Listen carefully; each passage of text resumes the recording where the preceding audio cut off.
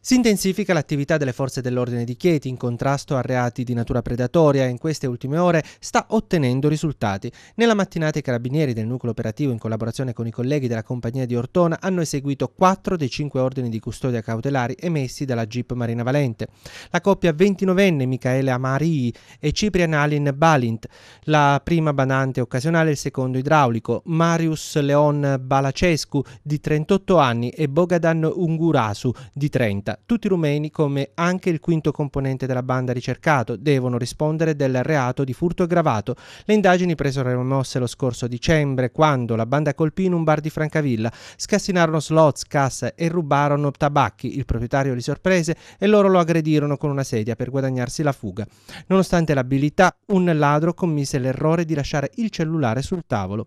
I carabinieri sono così riusciti a ricostruire i collegamenti tra i cinque e le loro identità ed hanno cominciato a seguirli durante una rapina al Sosti di Ortona, fallita, la banda riuscì ad evitare l'arresto in flagranza per un soffio.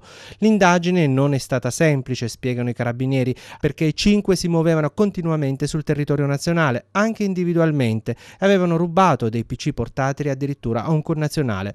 Le prove raccolte sono state sufficienti per il GIP che ha firmato le ordinanze, tre sono stati arrestati ad Ortona, Lunguraso a Terni.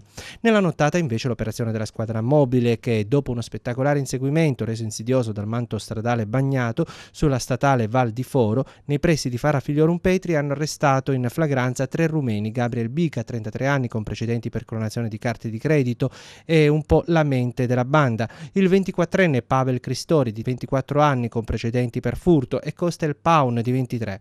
Con il primo a far da palo, poco dopo le due, erano entrati forzando la grata d'ingresso con una mazza d'acciaio in un pub di Vacri. Hanno soffocato la sirena d'allarme con un liquido spray e dentro dentro hanno devastato il locale, distrutto le slots e la cassa, impadronendosi soprattutto di monete. Fuori dal locale avevano nascosto dei plasma e un computer che pensavano di recuperare in un secondo momento. Gli agenti però già da tempo li tenevano sott'occhio, in particolare il Bica. Al momento dell'arresto hanno cercato la fuga a piedi, dividendosi, ma ormai per loro non c'era più via di scampo.